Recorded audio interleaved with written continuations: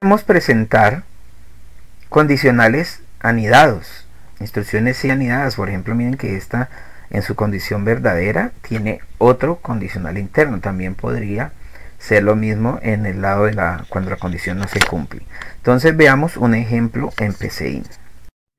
Vamos a encontrar el mayor de tres números. Entonces definir A como entero. Definimos B como entero. Y vamos a definir C como entero. Y vamos, vamos a asignarle valores. A4, B3 y C2.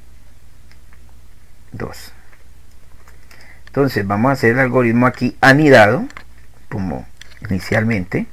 Vamos a preguntar si A es la mayor. Entonces si A, si A es mayor que B. Entonces mire que aquí vamos a hacer un anidado y vamos a decir si el A, vamos a preguntar por A, es mayor que C. Entonces eso nos indica que A es el mayor. Después descubrirán que esto se puede hacer de otra forma con operadores lógicos, pero esto es eh, para aprender el manejo del, del anidado. Miremos cómo queda el. Entonces miren, aquí está.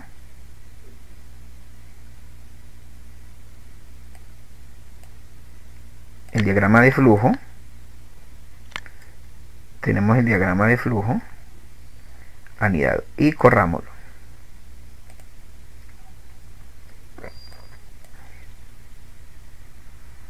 Asigna los valores pregunta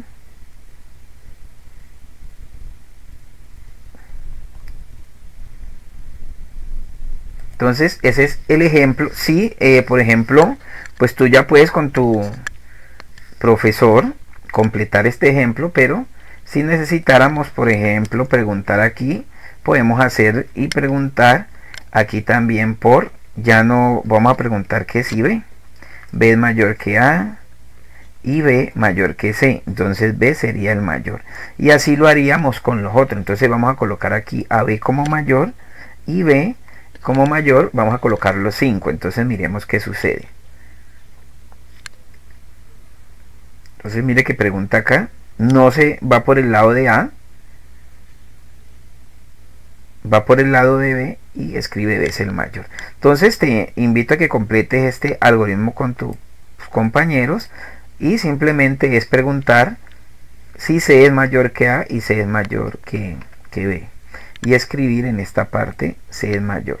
Entonces miremos cómo queda el diagrama de flujo. Esta es la forma como queda el diagrama de flujo.